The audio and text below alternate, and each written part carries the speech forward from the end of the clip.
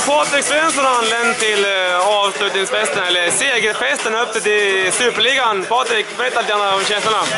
Ja, vad fan ska man säga? Eh, det är skitbra. Man gåshud och... Nej, livet leker, kan man säga. Du har inte varit här Sundsvall idag va? Jag var i Umeå och kom hit för typ en minut sedan och det mottagande man får då från laget är ju helt magiskt. Fan, man börjar nästan gråta. Hade du koll på eh, telefonen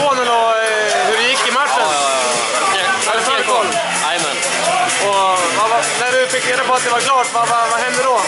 Alltså, jag trodde inte att jag skulle bli så glad för jag var så inställd på det så länge. Men äh, jag fick fan tårar i ögonen då när, när fan nu har vi gjort det. Jag har slitit för det nu i 8-9 år känns det som. Det har varit en dröm och så blir den äntligen sann idag. Nej, jag, jag kan inte förklara det riktigt.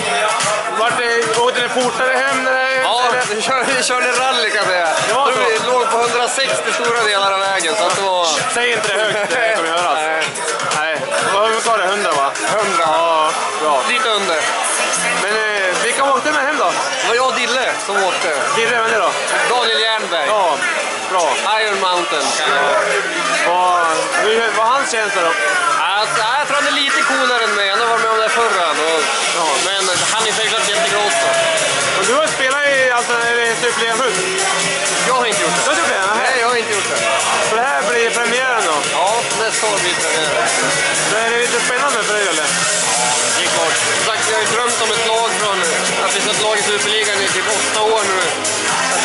Till andra klubbar och folk är idiotförklarar mig för att de säger att vi aldrig kommer få något lag härifrån som spelar där uppe. Så det är ju skitkul såklart.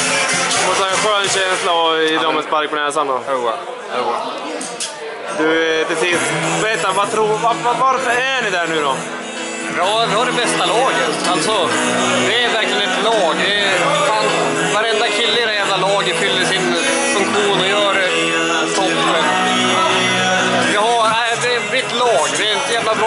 bara. Jag tror att det är det som gör det. Vi jobbar hårt för varandra hela tiden. Kul att höra att det är ett lag du ser fram emot. Ja, ja, det är ingenting annat. Att spela Superligan nästa år då, vad betyder det för dig personligen? Det är alltså, som sagt, jag har haft en dröm om det i åtta år. Så att det är liksom...